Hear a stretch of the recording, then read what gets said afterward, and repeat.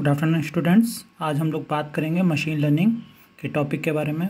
कई स्टूडेंट्स ने मुझे बताया था कि उनको मशीन लर्निंग्स में थोड़ी सी प्रॉब्लम हो रही थी तो उसी के अकॉर्डिंग मैंने एक वीडियो बनाया हुआ है। मशीन लर्निंग बेसिकली क्या होता है?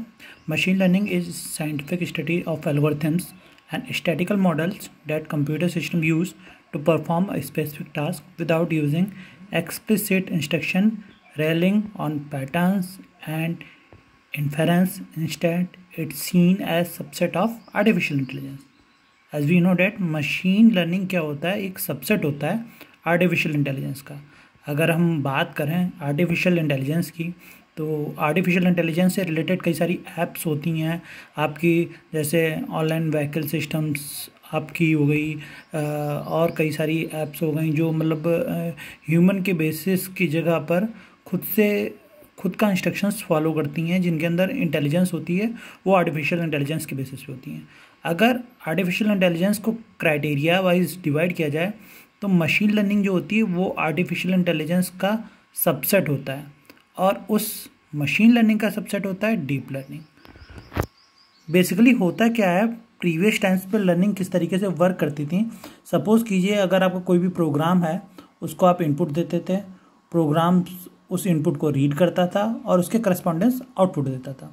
यही होता था। सपोज़ कीजिए सी में अगर हमने प्रोग्राम बनाया है दो नंबर का एडिशंस के लिए तो इनपुट हम देते थे दो नंबर्स थ्री एंड फाइव और प्रोग्राम उस इनपुट को रीड करता था और उसके करस्पॉन्डेंस आपको आउटपुट प्रोवाइड कर देता था।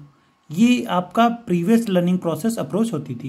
लेकिन बात करें मशीन लर्निंग के कंसेप्ट में मशीन लर्निंग के कंसेप्ट में ऐसा नहीं होता। मशीन लर्निंग के कंसेप्ट में क्या होता है? मशीन्स क्या करते हैं? हम लोग उस पर्टिकुलर मशीन्स को कुछ इनपुट प्रोवाइड करते हैं। उनके साथ साथ हम कुछ आउटपुट देते हैं। वो मशीन लर्निंग प्रिडिक्ट करती है उन इनपुट के बेसिस पे क्या आउटपुट आ रहे हैं और एक फ़ंक्शन जनरेट करती है। With the help of that functions we can provide new input and then functions generate new output with correspondence input for example suppose कीजिए, यहाँ पर मैंने इनपुट प्रोवाइड किए टू और थ्री यहाँ पर मैंने जो इनपुट प्रोवाइड किए हैं टू कॉमा थ्री और आउटपुट जो जनरेट कर, आ रहा है आउटपुट मैंने प्रोवाइड किया फाइव तो इससे होगा क्या? हम जब ये इनपुट प्रोवाइड करेंगे टू एंड थ्री और आउटपुट प्रोवाइड करेंगे फाइव तो मशीन लर्निंग का कंसेप्ट जनरेट करेगा फाइंड करेगा पैटर्न कि टू और थ्री को इनपुट देने पर फाइव आउटपुट आ रहा है तो कौन सा लॉजिक परफॉर्म हो रहा है? हम लोग जानते हैं टू और थ्री अगर इनपुट प्रोवाइड करते हैं और आउटपुट फाइव आ रहा है देन यहाँ पर एडिशंस परफॉर्म हो रहा है। तो वो हमारा पैटर्न किस टाइप का हो जाएगा? एडिशंस का या एड का फ़ंक्शंस हो जाएगा। अब हम क्या करेंगे? जब हम कोई नए इनपुट प्रोवाइड करेंगे देन हमें उसके बेसिस पे नया आउटपुट जनरेट होकर के मिलेगा। यानी मशीन लर्निंग क्या करती है?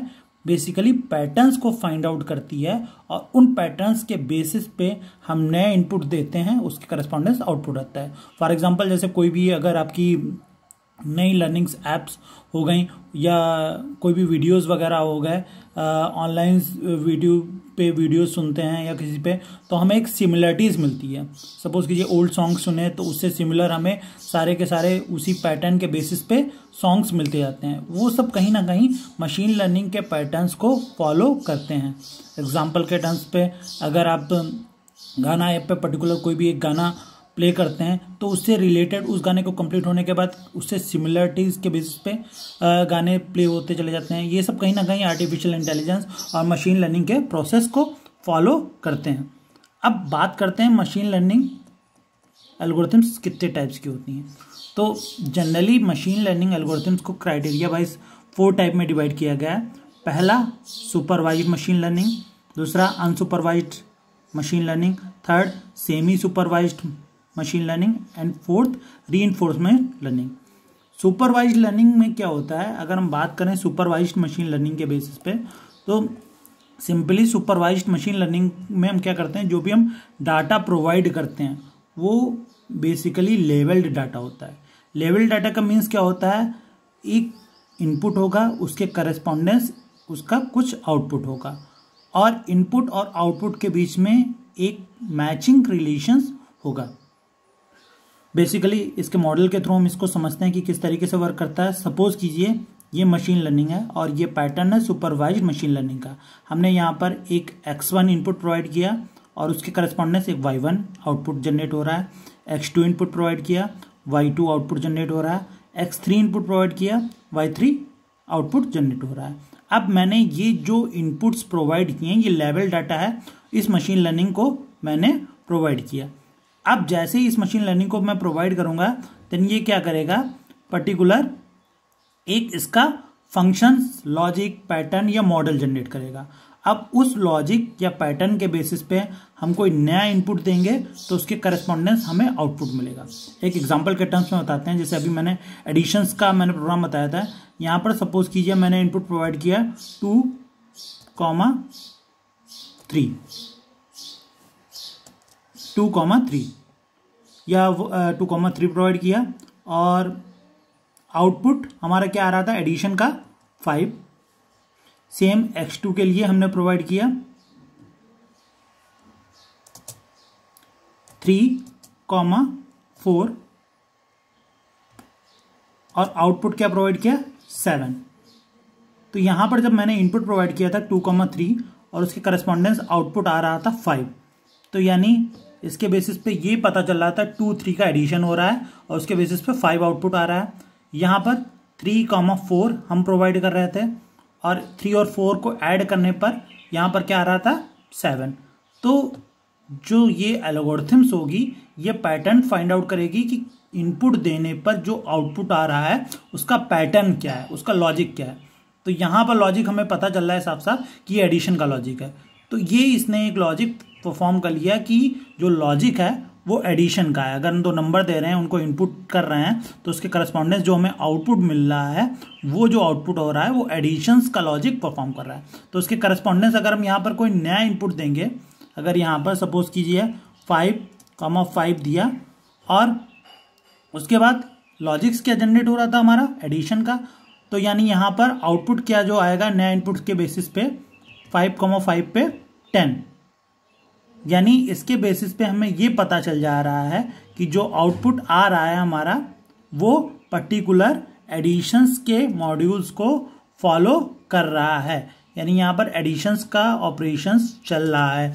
तो इसके बेसिस पे हम कोई भी डिफरेंट इनपुट के देने पर डिफरेंट आउटपुट मिलेगा। तो ये हमारा सुपरवाइज्ड मशीन लर्निंग होती है। यानी सिंपल टर्म्स में सुपरवाइज्ड मशीन लर्निंग में जो आपका डाटा होता है, वो लेवल डाटा होता है और उस लेवल डाटा को बेसिस पे हम एल्गोरिथम्स अप्लाई करते हैं। उस लेवल डाटा के एल्गोरिथम्स पे अप्लाई करने के बाद हमें एक पर्टिकुलर लॉजिक मिलता है और उस लॉजिक पे हम डिफरेंट इनपुट दे करके डिफरेंट आउटपुट को अचीव कर सकते हैं। एक सिंपल टर्म्स में बात की जाए तो सुपरवाइज मशीन लर्निंग होती है, वो एक तरीके से टीचिंग बेसिस पे होती है, यानी कोई ना कोई आपका सुपरविजन कर रहा होता है, यानी हमको प्रोसेस पता होते हैं। सपोज़ कीजिए मुझे लखनऊ से कानपुर जाना हुआ तो अगर सुपरवाइज मशीन लर्निंग का पैटर्न है तो मुझे उसका रूट पता होगा, यानी लखनऊ से कानपुर जाने के जो रूट होगा, वो मुझे पता होगा। अनसुपरवाइज लर्निंग में क्या होता है? हमें रूट पता नहीं होता है। वो मैं नेक्स्ट लेक्चर्स पे आपको एक्सप्लेन करूँगा कि किस तरीके से आप अनसुपरवाइज लर्निंग को अप्रोच को कैसे आप अप्लाई करते हो, क्या डिफरेंस होता है सेमी सुपरवाइज और अनसुपरवाइज में, क्या री मशीन लर्निंग किस लिए यूज़ होती है, और आगे के टॉपिक्स को मैं आगे के लेक्चर्स में आपको बताऊँगा। होप ये आपको वीडियो समझ में आया होगा। अगर कोई भी डाउट्स हैं तो आप कमेंट सेक्शंस में पूछ सकते हैं। और अगर आपको कोई भी क्वेश्चंस हैं रिगार्डिंग मशीन लर्निंग्स के, या कोई भी टॉपिक नहीं समझ में आ रहा है तो आप मुझे पर्सनली मैसेज भी कर सकते हैं। तब तक कि आप घर में रहें आइसोलेशंस पे रहें, हाथ अच्छी तरीके से धोते रहें, और कोविड नाइन्टीन से बचते रहें। फॉर मोर अपडेट्स आप चैनल को लाइक कर सकते हैं सब्सक्राइब कर सकते हैं। Thank you peace out